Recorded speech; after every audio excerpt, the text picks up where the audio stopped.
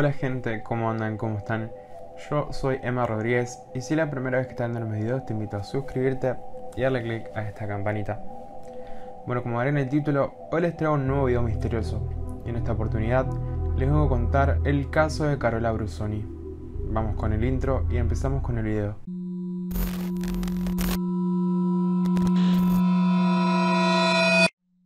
Carola Brusoni nacía el 7 de noviembre de 1972. Era una mujer argentina de 38 años de edad que residía en General Las Heras, provincia de Buenos Aires, Argentina. Esta se desempeñaba como ayudante de cocina en un conocido restaurante de la zona llamado El Matute.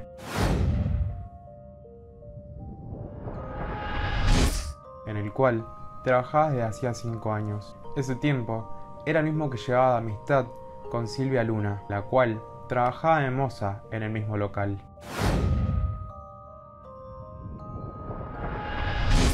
A ambas las unía algo más que la amistad, ya que habían nacido el mismo día, el 7 de noviembre. Esa relación no se preocupaba por la diferencia de edad, ya que Carola era 8 años mayor que Silvia, y a pesar de todo, no parecía ser una amistad fácil, ya que se decía que varias veces se las había visto discutir, aunque después de unos días se arreglaban.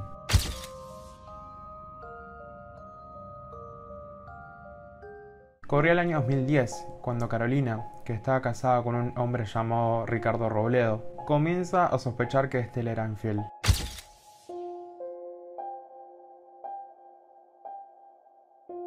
En un intento de comprobar sus sospechas, la mujer de 38 años convence a su amiga Silvia de que se le insinuara a su esposo. Esta última acepta y comienza a cortejar al hombre llamado Ricardo en varias oportunidades, hasta que después de un tiempo este cae e invita a la moza a ir a un motel. Silvia, sin intenciones de ir con el plan más allá, se niega a concretar el encuentro y le cuenta a Carola lo que el marido le había propuesto.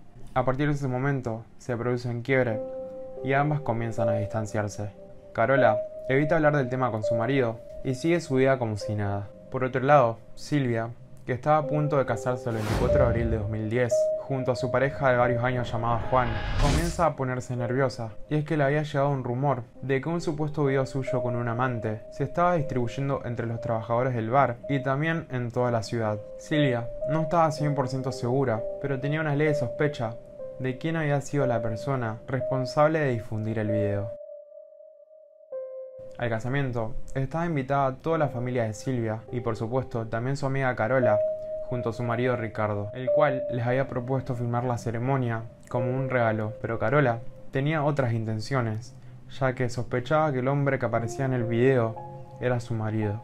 Esta les había comentado a algunos compañeros del trabajo que tenían planeado sorprender a Silvia al día de su casamiento, pasando la pantalla gigante, nada más y nada menos que el video Hot en el momento en que la novia ingresará al salón. Unos días antes de la boda, Silvia se enteró por boca de varios compañeros de trabajo del plan que tenía Carola para su fiesta.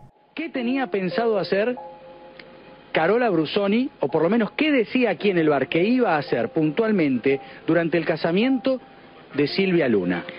Eh, específicamente a mí no me decía, pero sí murmuraba por todos lados que se iba a vestir toda de negro, una vida de negro, y iba a mostrar el video de Luna en una pantalla gigante el día del casamiento. ¿Delante de los 150 invitados? Delante de los 180 invitados que había, sí.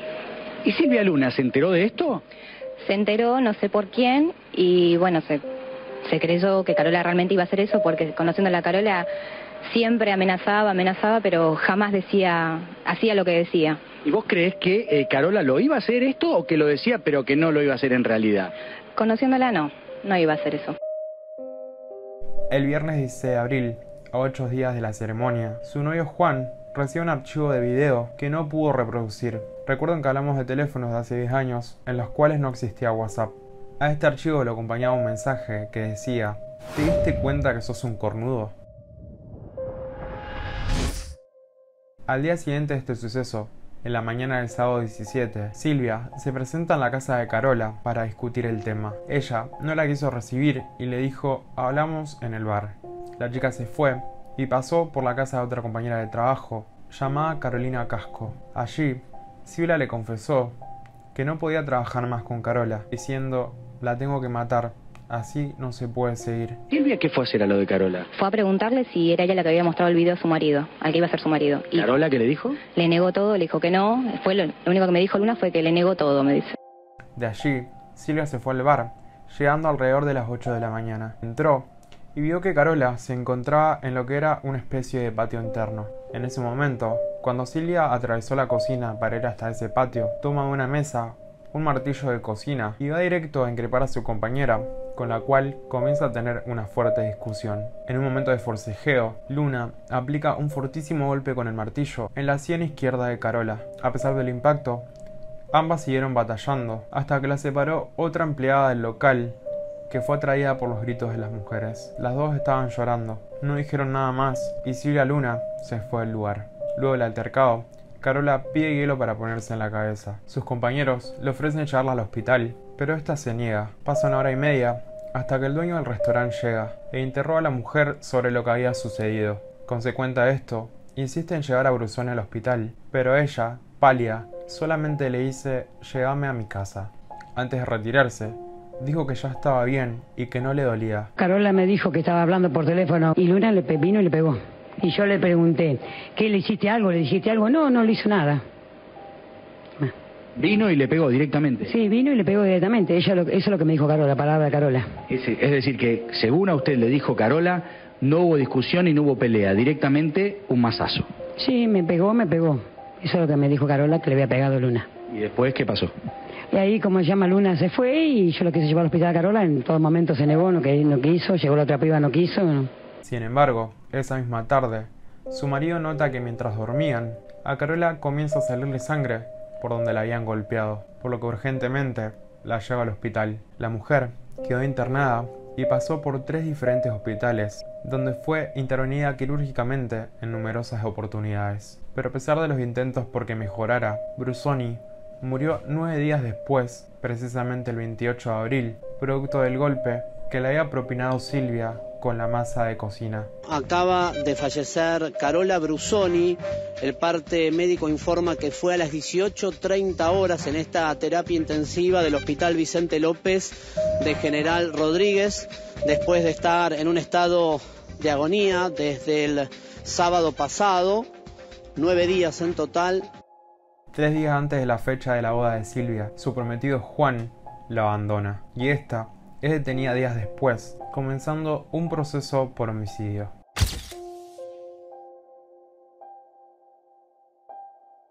Fue decisión de Juan eh, que esto se suspendiera y Le dije, mira, no los vamos a casar porque en realidad le digo, yo gana con este tema, eh, gana no tengo.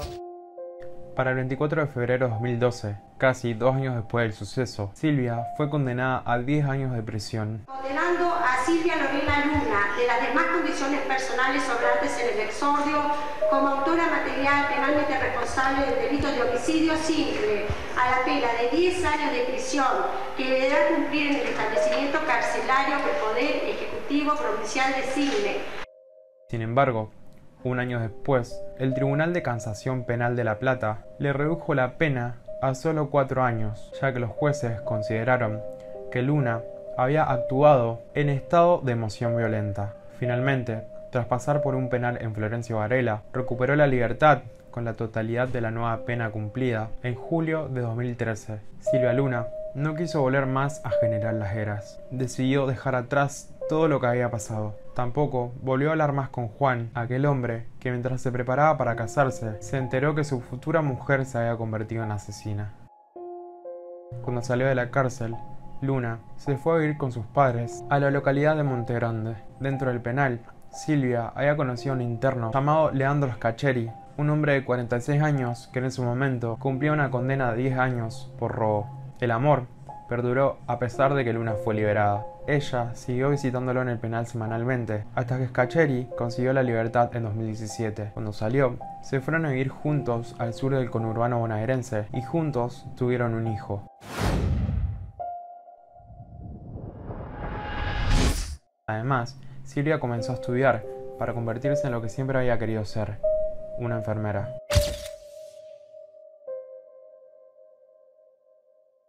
Silvia Luna nunca reconoció cómo habían sucedido los hechos, siempre sostuvo la versión de que fue Carola la que la atacó y que ella, en su afán de defenderse, tomó lo primero que encontró y la golpeó en la cabeza. En el juicio no quedó demostrado eso, sino todo lo contrario. Se me vino encima, me vino a agarrar así encima, por arriba mío, se me balanzó.